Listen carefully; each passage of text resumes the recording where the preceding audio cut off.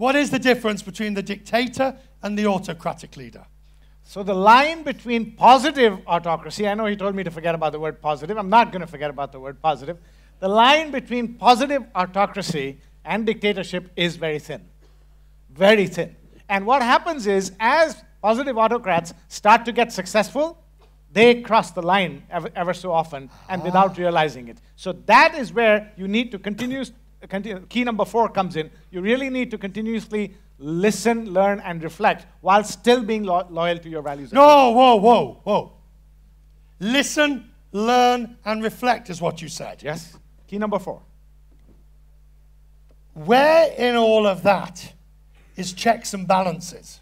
Because if you're right, and I think you probably are, much as it pains me to admit it, if you are right, then the positive autocrat will have stuffed the board of directors with their own um, wannabes and yes men and women.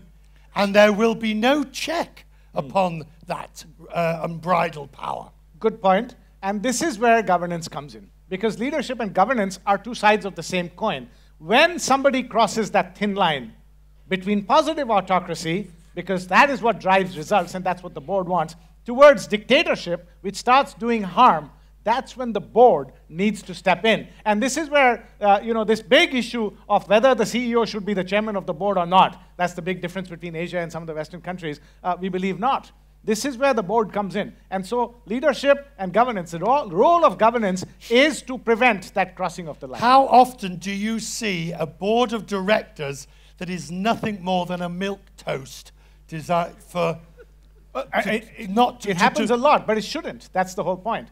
It doesn't happen because the autocrat, the, the dictator, has managed to stuff the board. And that is the huge difference between some of the governance models that we see in the West and the ones we see here. Uh, and also, that, for that matter, in the UK, where uh, we separate the role of the CEO and the chairman, right? The Cadbury Commission. Exactly. Exactly. And that, that, that should be, I mean, the role, uh, the board cannot be a bunch of cronies. That, that has been the problem historically. And as Asian companies, family owned businesses are going global and are going public, uh, they're going to have to think this through very carefully we've jumped a couple of steps. Yes. Let's go back okay. to autocratic uh, leadership.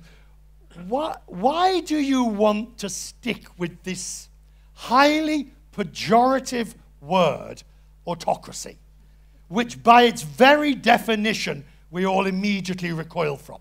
so that we can have debates like this. Excellent.